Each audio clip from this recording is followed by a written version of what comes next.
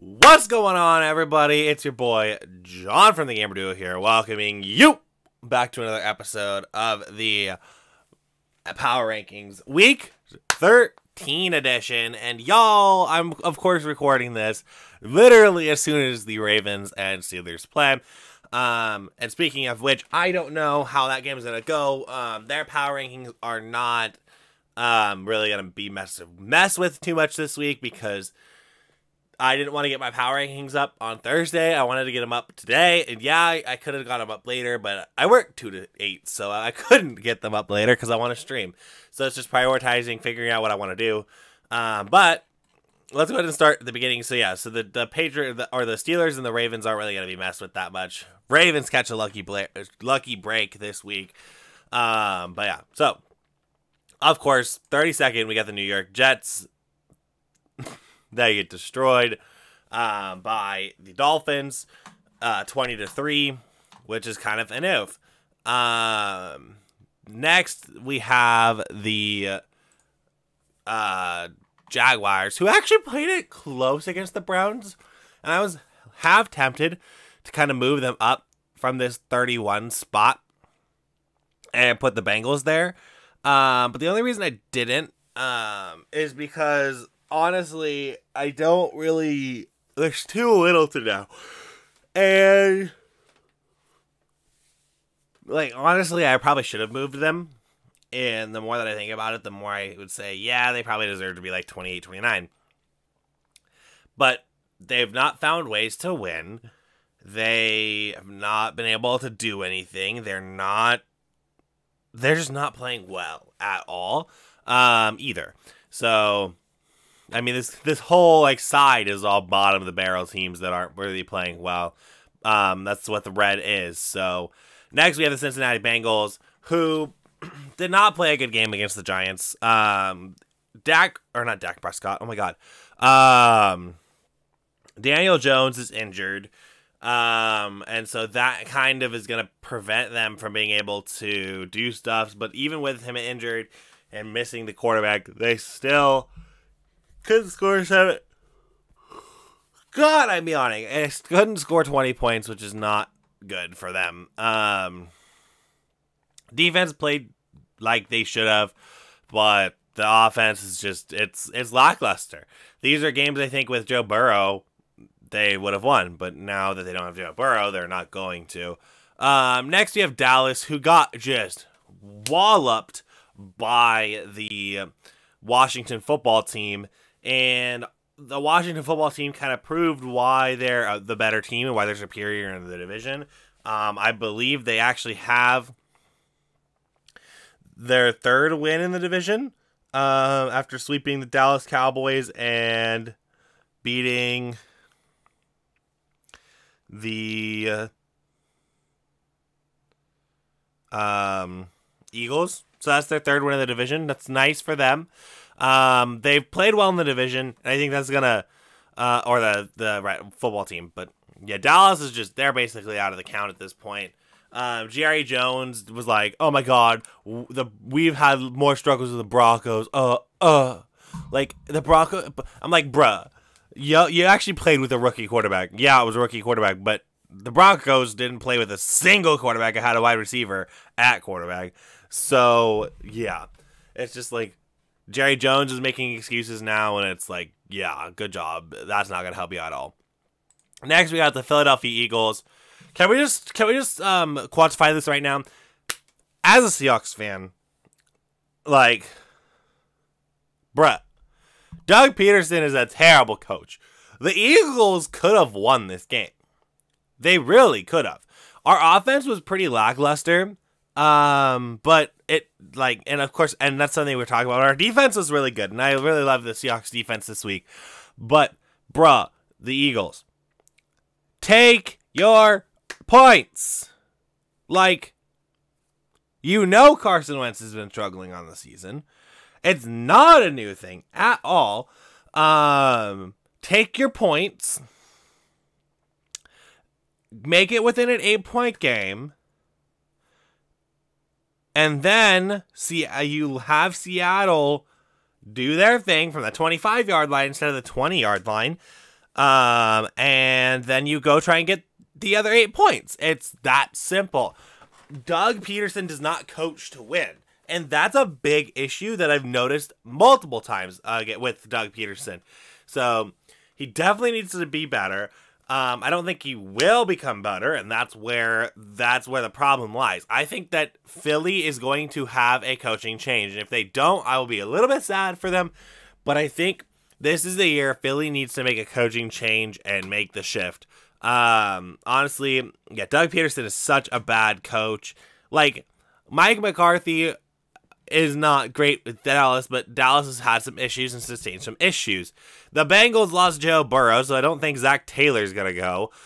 Um, and Adam Gase obviously is gonna go, and the Jacksonville Jaguars coach is probably gonna go too. So like, there's coaches that are probably gonna go, and you can tell that. The Eagles are like, oh, will they go? Will they not? They better.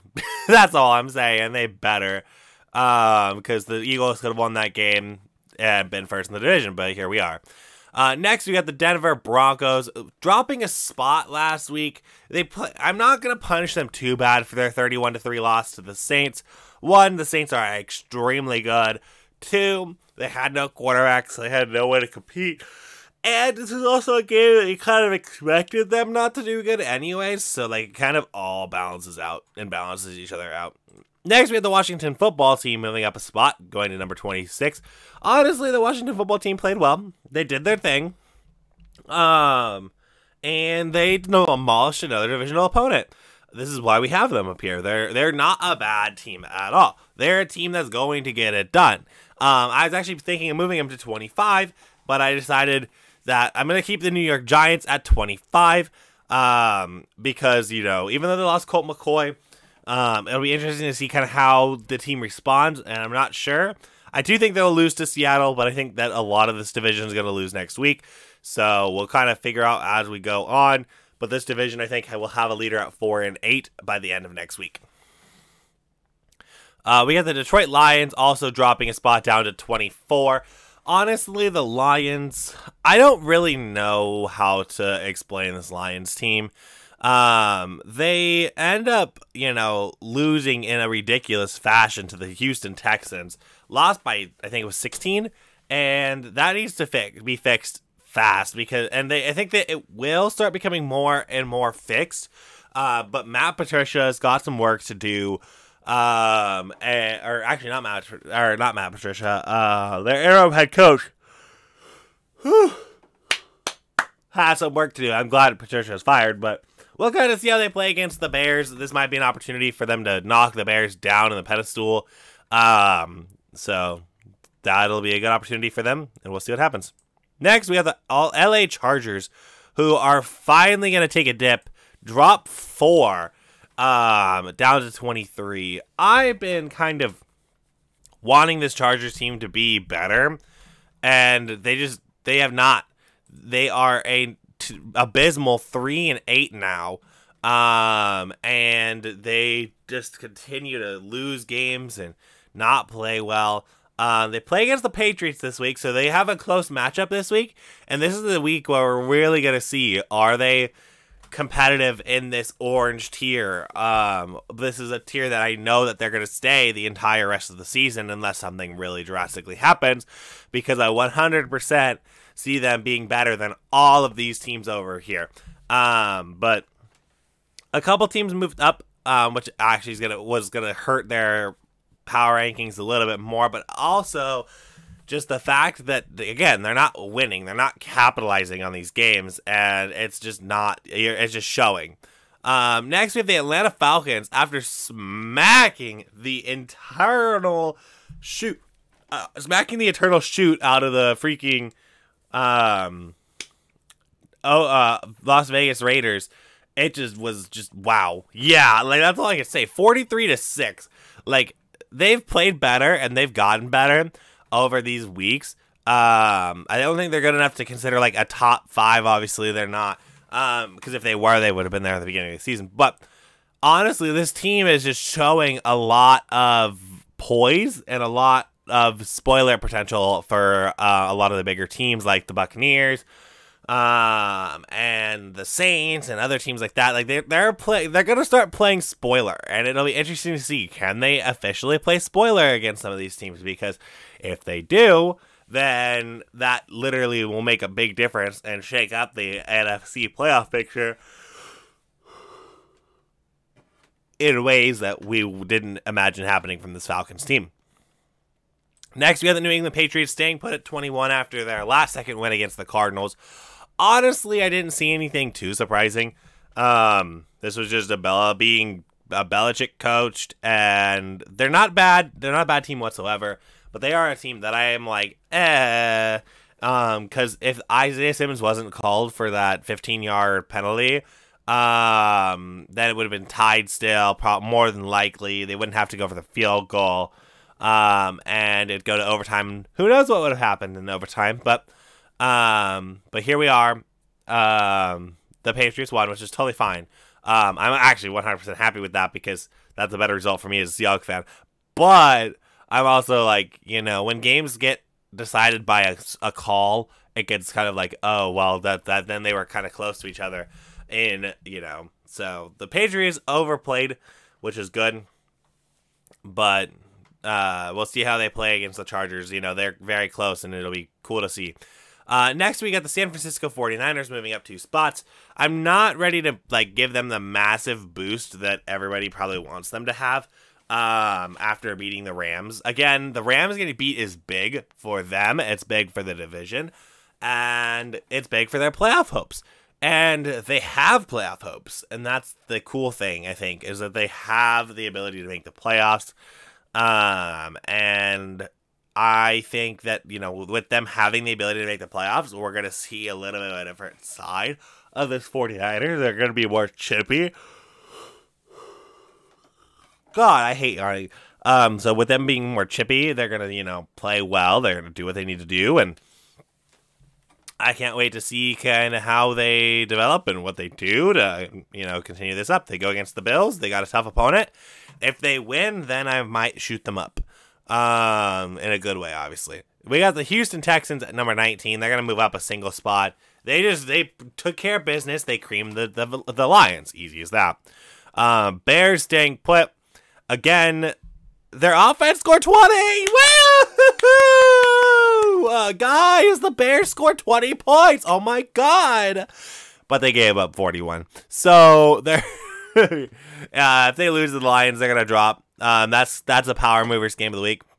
So easy as that. Uh, we have the Carolina Panthers right below them. They're dropping a spot after their um, lost the Vikings. Offensively, they did not play very well, but defensively, they kind of they're getting better uh, with their defense. And I'll be interested to see how this defense continues to perform how they continue to play, um, what they continue to do. There's a lot of um, contingencies that this team has that I'll be interested to see kind of how it plays out. Next, we got the Minnesota Vikings moving up a spot. Literally, they flip flopped because they beat each other. Surprise. Um, then we got the oh Las Vegas Raiders dropping down two spots this week after getting just pummeled by the Atlanta Falcons in a terrible route that shouldn't have happened in all reality, but you know, it happens sometimes. It just does work out that way. It do be like that. Um, but we'll kind of see what happens and how it goes. Um, next we have the Miami Dolphins. They're gonna move up a spot after you know their win against the Jets. You beat the Jets, nothing much to comment on. Um, next we have the Browns. Congratulations, you beat the Jaguars. Nothing much to comment on. You, you like literally like you beat the Jaguars. Cool. Um, next we have the Arizona Cardinals. They're gonna stay put uh, despite the loss. Um, I'm still kind of hanging on to that thread of hope that maybe they're okay and maybe they're good enough. Um, I think this week they go against the Rams, they got to prove it. This is a they're in a very they're that 12 12 is like that prove it situation, right? Um and I've said it all year. 12 is the prove it or lose it because you know, in my head, because it's been like this for many, many years, 12 is you're making the playoffs. You're a playoff caliber team. And while I see the Arizona Cardinals as a playoff caliber team, I don't really know if they're going to make the playoffs this year because if they continue to falter and like lose games where they shouldn't, they're not going to make it. Um, I figured that we'd have three teams make the playoffs in the NFC West. Um, but now the Cardinals, if they lose again, depending on the margins, they're going to just drop off. The only reason they didn't drop um, a little bit this week was because again there was a, it was an Isaiah Simmons call, um, and they might not have lost without that call. So I'm gonna give them one more week to kind of be in that prove it spot. But if they lose again, they're dropping. Um, next we got the Indianapolis Colts dropping a spot, and the Titans moving up a spot. We all know why they flip flopped. The Titans beat the Colts in very bad fashion. It was not close. Um, but I still believe this team is a top like uh, like should be considered in the top ten here soon. Um, the Ravens again they get that one week to be lucky, but depending on how bad that they beat the or how bad the Steelers game goes, it could be um a big fiasco for them, and they could drop big. Um, next we got the Buffalo Bills staying still. Uh, play the Chargers exactly the way you want to. Limiting uh, the Chargers 17 points is a big deal. So, congratulations to the Bills. They are definitely a top 10 team um, and continue to be that top 10 team. And I hope we get to see kind of, I want to see the Bills like progress in the playoffs. And I hope they can do that this season. Uh, next, the LA Rams they're gonna drop down two spots this week. Um, they just, yeah. I mean, it's a divisional opponent, so I'm not gonna, I can't knock on them too badly, but this was a game you absolutely needed to win, and you failed at doing it. But it was, again, it was the last second field goal, so um, the only reason you're going down two spots is because of the other two teams here, um, which was the Buccaneers, who are gonna stay put at seven. I think they played a better game than the Rams this week. Um, I think that yeah, they lost to the Chiefs, but it was the Chiefs. They kept it close to the Chiefs, um, and proved why you know they're not the worst team in the league. They're gonna have a bye week. They're gonna rest. Don't fret. Um, I still expect this team to lose one more game during the season. Um, I still expect this team to go ten and six. Um, but they could easily go eleven and five. Um, it's really are the Falcons gonna play spoiler because they play the Falcons twice. Um, and I think that's where you're gonna have your scare. You've got still three divisional games left, and the Vikings. So it's not like you have an easy slate. You got an aspiring playoff team and three divisional opponents, and I think that this will be their time to shine, and we'll see what happens. Um, next we have the Baltimore Ravens. They're gonna drop a spot. Um, after you know, the I think there was just a team that really surprised me a lot and did really well. Um, and the Ravens again, they were in position to where I they could drop easily, um, depending on what happens. So, um, I didn't want to be like over predict the Steelers loss, but I or the Steelers win, excuse me. Um, but yeah, I think that the um, depending on the the margin next week or they they could drop. Who knows? But I wasn't gonna. I was not willing to anticipate it and be like super wrong. Um, next, we get the Green Bay Packers, who are the team that we were I was super impressed with this week, going up three spots after their 41 to 25 victory over the Bears. They played extremely well. They played like a top team. They played like a team that would make it to the NFC Championship game. Uh, and if they continue this, they're going to go far. They're going to go places. They're going to do things. And I would love to see how and what they ended up doing to continue to improve. Um, next, we have the Seattle Seahawks staying at four. Um, beat Philly. They handled their business. Um, they did not play the best game of their life, but they are getting back into that like awesome like run the football, create the pass, do the stuff that they've been doing habitually to get them far in the playoffs. And honestly, now that Russell's got all these weapons that he can utilize at some point, I would love to have some home games in the playoffs. So now we're fighting for that. It's between us and the Saints and the Packers. Um, and speaking of the Saints, they're number three. Um, they they're going to be an interesting team to watch because who knows what Drew Brees is when Drew Brees is going to come back. Um, I think that honestly, the Saints team is a really good team and can handle its own without Drew Brees if it needs to. Doesn't want to, but if it needs to, it can. Um, so yeah, I'm keeping them at three. But yeah, these the, the, Packers, Seahawks, and Saints are all fighting for that number one seed, in my opinion. Um, Rams could enter that conversation, but I think they've lost one too many games to be in that conversation. I don't see the Saints losing two games. Um, personally, I see them losing. If they do lose two games, then that's gonna be crazy. But um, I don't really see them losing two games. Um, but they could, but I don't see it. Um, next we have the Steelers at two. Um, awaiting their game. They're currently up six to nothing after a botched field or point at PAT. So good job. Um, and then we got the Chiefs who literally just played their lights out in the first, and then just didn't have to worry in the second half. But anyway, that this was a quick was a quick power rankings video, but I figured it was just because there was not a lot of teams that were actually moving, and a lot of the teams that moved were just flip flops. Uh, but my power games of the week should probably talk about those. Um, are as follows. Number one is the Saints and the Falcons. They're a power mover game of the week because the Falcons have a lot to prove. Um, want to get back in that conversation of being a good team. And if the Saints lose, then they know that they are potentially going to drop their number one seed. Um, next is going to be Browns and Titans. Um, that's a power moves game of the week um, uh, for me as well. And the other game would be Cardinals and Rams. Those are my three power moves games of the week. Games that you should be watching. Um, and I think are going to be ultimately the three best games of the week. Um, hopefully, you have a wonderful rest of your day. Love you all. Peace.